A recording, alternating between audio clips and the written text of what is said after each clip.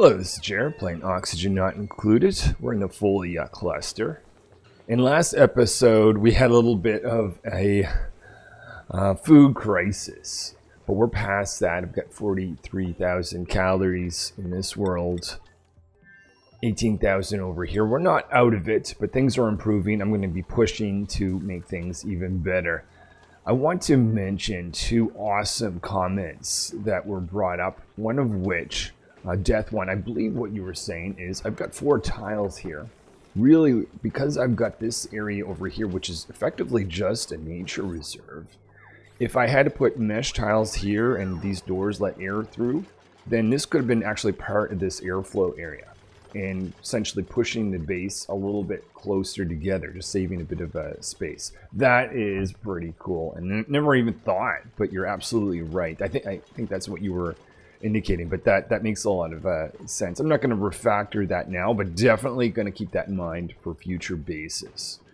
The other one, Terracom, suggested about the washrooms and a specific order of placing sinks, lavatories, and showers to optimize the amount of steps.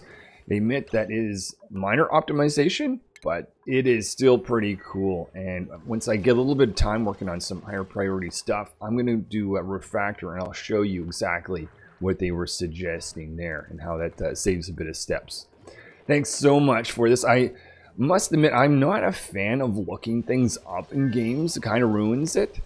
But getting advice from others is uh, is just it, it, it's just social. It's exciting I've been trying to convince my friends to play this game, and so I could have people to talk with in person. But it's uh, it's a difficult sell. I don't know if anyone else has been in a similar thing trying to uh, sell your friends on this game, but nonetheless, it is so exciting to have your comments and just the fact that uh, some of you are out viewing what I've been up to. So thanks for all of that. Let's begin.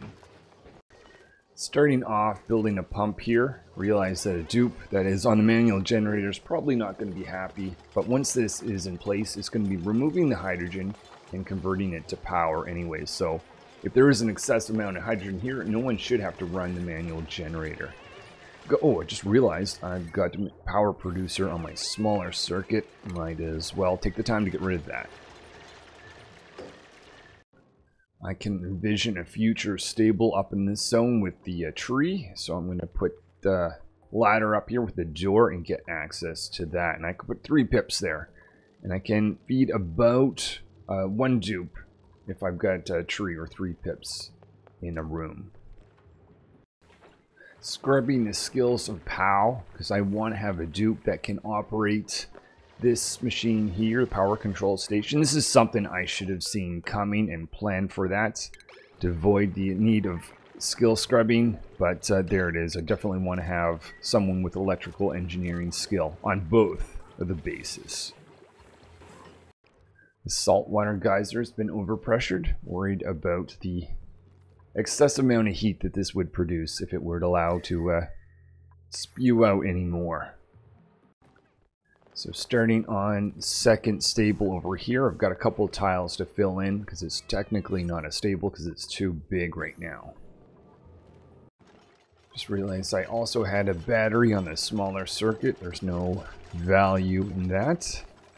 And building a pump here because I'm going to eventually want access to this little bit of water. Worried about water in this particular world. This is my second cache, but this cache is also quite small got power issues over here. That could just be the skill scrubber running, but uh, actually, have they already removed their skills? Not quite yet. So POW has had their skills scrubbed, so I'm going to go over and assign them the ability to have electrical engineer. And while I'm at this, just thinking I need to have someone on this space that can work the grill. So maybe I'll choose art. They'll probably like that. Maybe not as much as art fundamentals, but let's give them grilling. So we can start to operate an electric grill on this base. So things are starting to get critical. I'm not used to having 17 dupes this early. So I'm doing something I said that I wouldn't do, which is do egg incubation on two bases at the same time. So that's one thing. The other thing is I'm having to operate this machine, Micro Musher. And this is all just until I get the Locavore achievement and I can start growing my own food instead of relying on this terrible machine. That takes power, takes water, and no, that I don't have a, a lot of in that particular world. And just because I want to get to meat very quickly to uh, reduce my food dependence, or, or just to be able to survive for that matter, I'm just pushing incubating eggs as much as possible on both bases. So hopefully this isn't going to last very long because it's not super fun. But uh, we'll we'll get through this. I'm pretty sure. I've got the goal of getting up to 20 dupes, so I still have three more. When's next? Oh my goodness. When is the next due? Okay, I've got a cycle and a half. Um, I'll have to decide what base it makes sense to have them over, but until then, I'm just back and forth, going crazy, trying to get past this food crunch that uh, has resurfaced a little bit. This is something I just started doing, so uh, for a while, I've been sweeping eggs and having them dropped off over here just so that this dupe knows to only process the eggs that don't have the lullaby effect. But in addition to that, I'm looking at the actual incubation value. And for instance, if I see an egg that doesn't have the lullaby effect, and I see it's about to hatch, let's say 90% or more, I don't bother putting it into the incubator. At first, I found that kind of annoying because you have to look at this and the uh, actual lullaby status, but now I'm at the point where I don't really notice it uh, so much. Ah, that feeling when you did all eggs and you can let this dupe out to do some other things. But I still have the dupe over the side to do a couple more eggs before I'm completely free of this process for this cycle. Teleportation equipment has been recharged, so I'm going to send Brains over they were here just to activate the teleportation equipment, but since this is now available, they're going back, so I'll only have seven dupes to feed over in this world. I see some hydrogen making its way into the hydrogen generator. And we've got automation on this end, making sure that we only have hydrogen here. And we've got automation here to make sure the hydrogen generator is not operating when it is uh, max power. We're just waiting for Pow, who has the electrical engineering skill to actually automate this. You can see this circuit here is a bit strange, so that's why I'm putting this in. Actually, are we at the point we can split this? I think we are. So I'm going to split this such that this electrolyzer, this machine which is generating power, or food, I mean, is in a separate circuit. So let's create that now carefully, making sure I don't cross the wires. So now I have two separate transformers and two separate lower circuits. Let's give that a second to see if they come online. Yep, there we are. Awesome. Okay, so now that should uh, keep those things powered, especially this machine, because I want to make sure we get food, be able to survive. Just see the colony earned an achievement. I'm hoping that's the Locavore achievement. Let's go over. okay. Whew, our food problems are over. Well, not entirely, but let's get to planning some food. First planter boxes are going in. I'm already telling the dupes when you can put in some mealwood.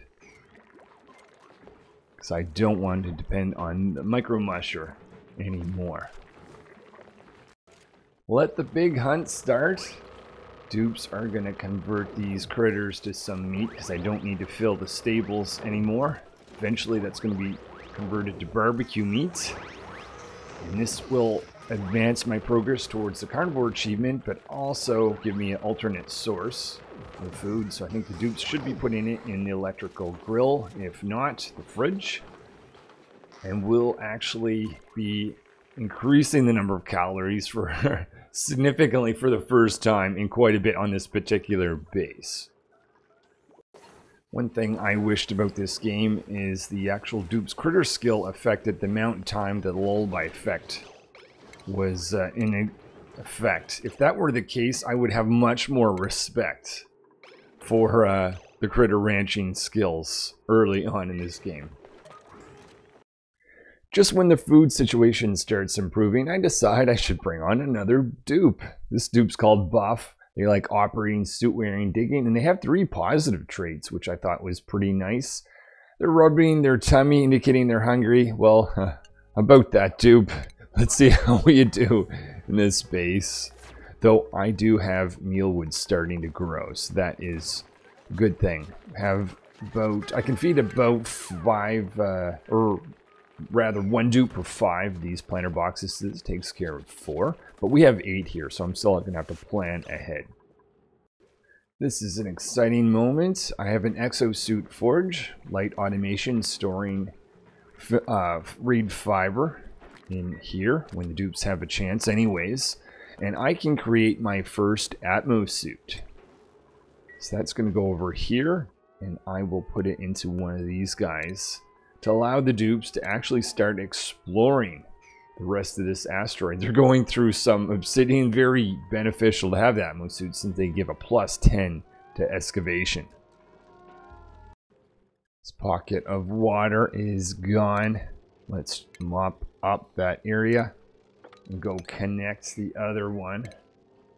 That's only going to run so long as well, but uh, we've got a pump in here. That's powered up. I can now connect this so that's going to start directing water towards the base. So the washrooms are nearly backed up, so let's put in liquid reservoir. At some point we got to start converting this back to water. Let's check the washroom over in this world. So we're okay over here.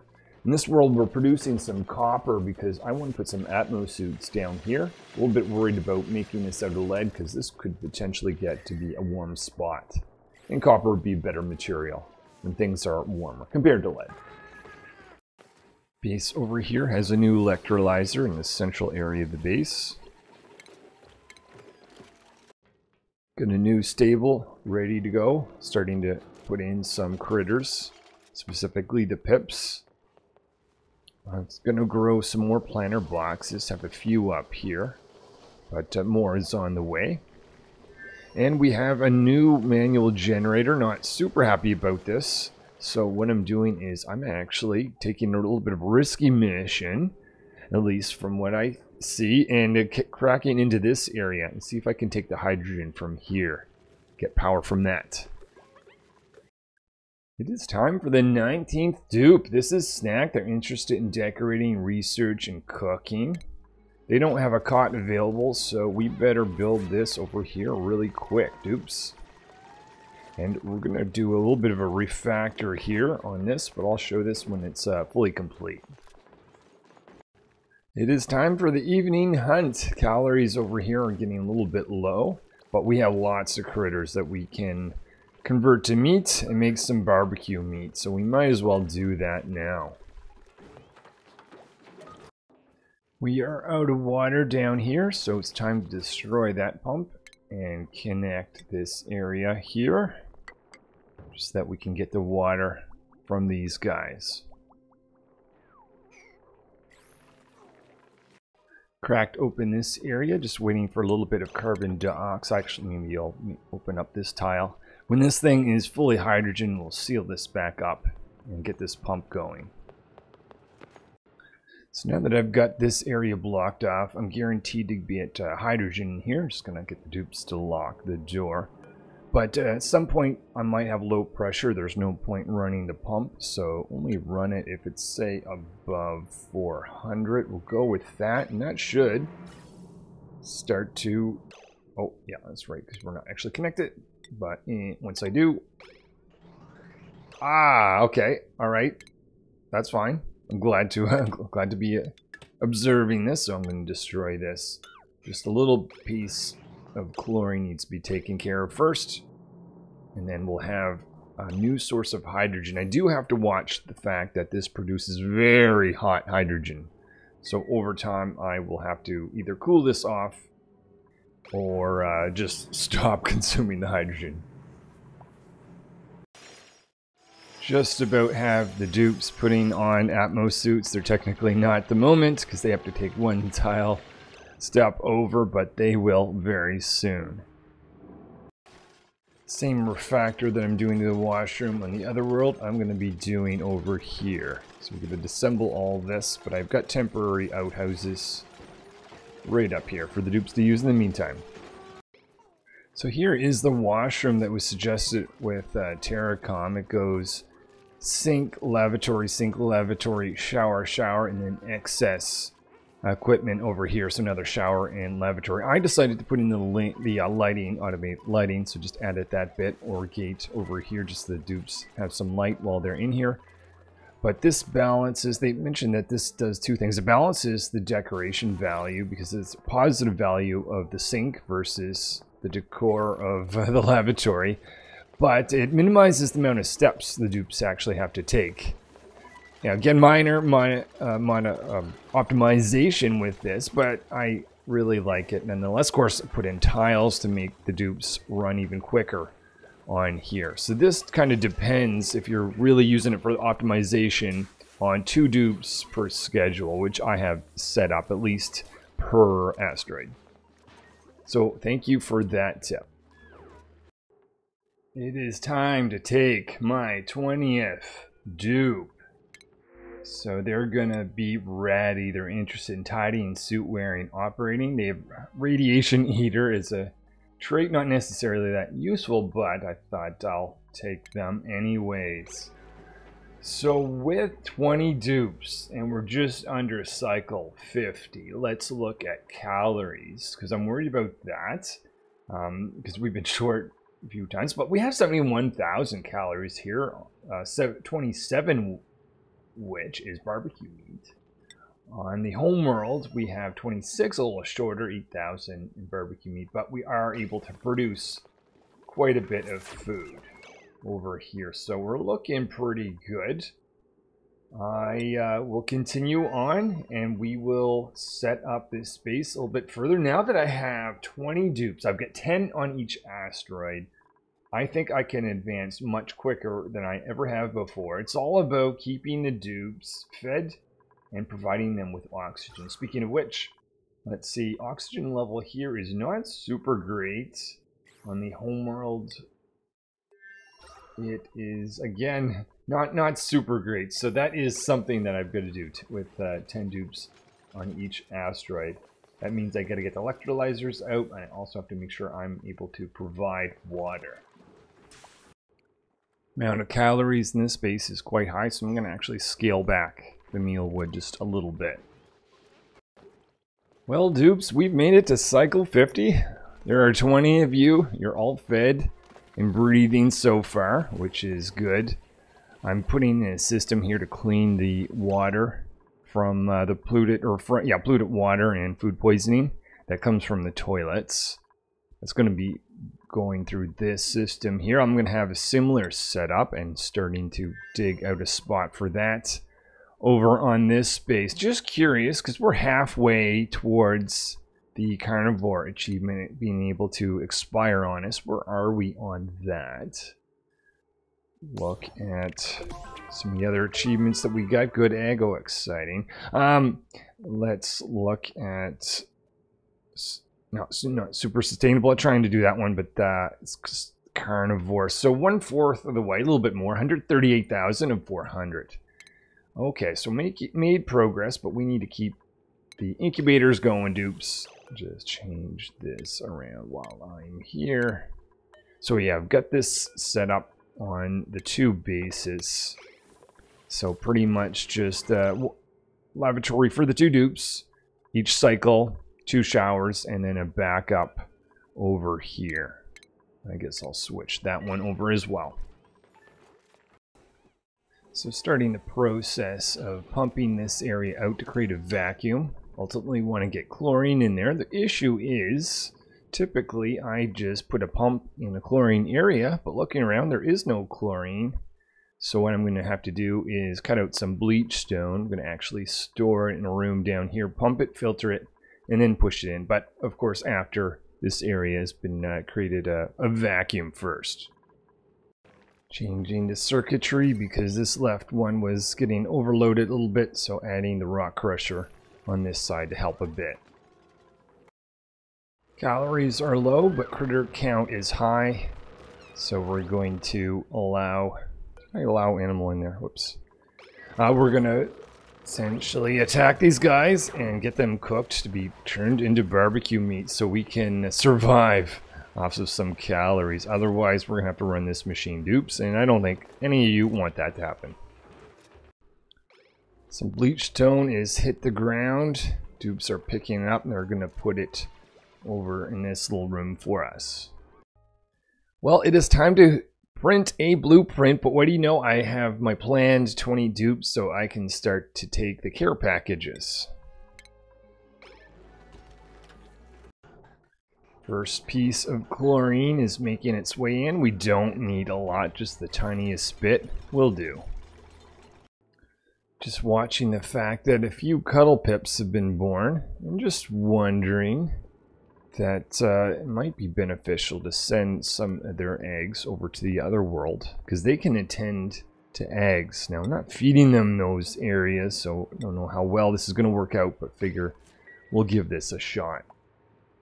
We're running into power situation on this asteroid, so now we've got two hydrogen generators operating. Getting excessive hydrogen, so that should go out well. As long as we have the smart battery on them, they shouldn't be wasting power. Built this whole system because at the time there was chlorine in this area, because I want, of course, be able to get chlorine here once a vacuum is created. And then I realized it is now gone because this pump picked it up. So what I can do is uh, just isolate these two pieces and I'll push these two in instead. And I guess we don't need this whole setup after all. So let's cut the power so we're not wasting power on that. So just checking on what geysers we have in the area. And oh look, minor volcano next to the living area. Uh, let's overpressure that pretty quick. Dupes, that could be pretty scary. So it's not a lot of chlorine, but it's on the way into this room, and that'll be enough to kill the food poisoning in polluted water. Or actually, I guess it's technically to be clean water at this point. We have started the process of digging down to the oil biome. And that is with uh, the Atmos suits on, of course. Two new geysers I've uncovered. This one is a liquid sulfur geyser, and over here we have natural gas. Definitely the natural gas will be useful. Sulfur depends if I want to feed the little bug creatures over here, but uh, don't really have a plan for that at the moment. Feel like Santa's being bad to me this year. I'm having coal as a present. But uh, no more dupes still. Still sticking to the 20. Starting the air cleaning process on this base with some deodorizers.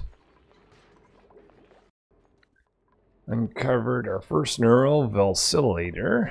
Given that to Sprocket, have a seat and see what trait you get. Hopefully it's something useful. Gotta click the button, otherwise you're gonna suffocate in chlorine. Complete process.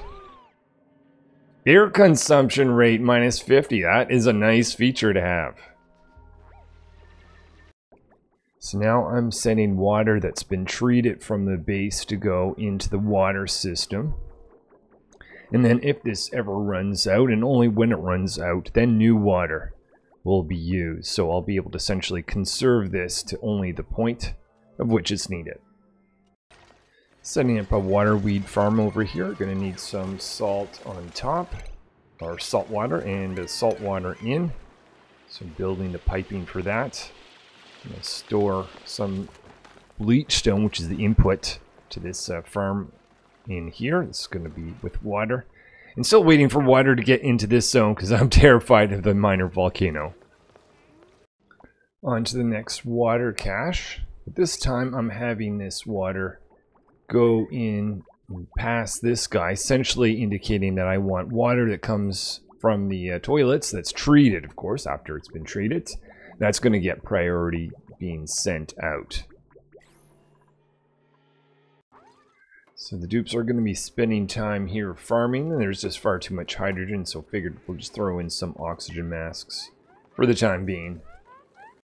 Starting to explore more of the oil biome, getting some fossils, lead, and collecting some crude oil. Oh, look at that. Cuddle Pip is cuddling some eggs. That might just mean a little bit less work I have to do, so yes! Someone has Mechatronics engineering skills, so it's time to bring in the auto sweepers. First thing is going to be on the incubator area. So Cuddle Pip is cuddling some eggs realizing I might not want to actually have this system in operation right now. Because maybe I just want to leave the eggs exactly where they are next to Cuddle Pip. But I'll have it in place. It can at least drop meat, or I can use it in the future. I'm experimenting with an idea that is from Death 1, which is trying to create a spot which will store an infinite amount of gas. I don't have it quite working yet. I had a little bit of liquid here, but the gas actually removed the liquid. But the hope is if I can get another, enough liquid here, uh, let's try crude oil. Bring that, maybe mop this up. But the idea is, if that sits, if liquid sits here, this will output carbon dioxide, never over pressure, and keep pushing up into this area. So very excited to see if this is going to work out or not. Dupes over here want some clean air, so they're putting in some deodorizers around the center of the base. Dupes are bringing in the crude oil. I'm going to drop it right here and see if this works instead of water. The idea, actually, before I even close this area up, why don't I just try it now? Um, whoops. Let me try that again. So connect this with power. So that's going to send carbon dioxide over. Now, when it was water, it actually destroyed the water. But maybe with the oil, it just backs it up. Okay. Not sure. Let me keep experimenting. So I did a little bit of research, and what I think is the case is this guy needs to have crude oil that's less than 200 grams. So I had 16 kilograms. I've got now this sitting here. I also never needed the actual faucet. I could just uh, done this trick, which is one of the newer features of the game. I could click move here. Let's see if this works. Make that a high priority task. Now, if this works, I'm just assuming it might, I would, would want to send crude oil over to the other world. Now, I can't put a pump inside the actual oil biome because it's too hot, it overheats. That's why I've got this set up. Let's just watch a dupe or move this over. Once that's the case, I can then hit empty. Again, high priority.